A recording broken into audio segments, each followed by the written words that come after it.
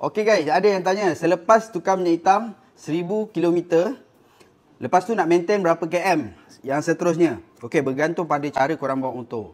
Okey, contoh kalau korang ulang alik kerja jalan pendek-pendek contoh RPM 7, 8 korang dah masuk gear. Korang boleh maintain sampai 1500 ataupun 2000 km. Satu minyak hitam eh. Okey, kalau korang main highway Hari-hari korang lenjan dia lock throttle sampai RPM 10, 11, 12 macam tu.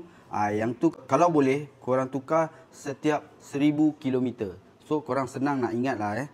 Ah kalau korang punya perjalanan tu pendek ataupun panjang. Dia korang fikirlah kalau minyak hitam tu korang lock je throttle, minyak hitam tu hari-hari dia akan cair, cair, cair. Lepas tu dia sejuk, dia pekat balik. Cair, dia sejuk, dia pekat balik.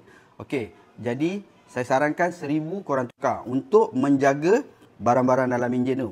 Tapi kalau korang jalan yang dekat-dekat, contoh uh, pergi kerja traffic light kan, banyak traffic light. So RPM tak lepas daripada 8 kan. RPM 78 korang nak masuk gear. 78 dah masuk gear. So minyak hitam tu lambat cair dan lambat dia nak berkurangan. So korang boleh pergi ke mileage 1000 setengah ataupun 2000.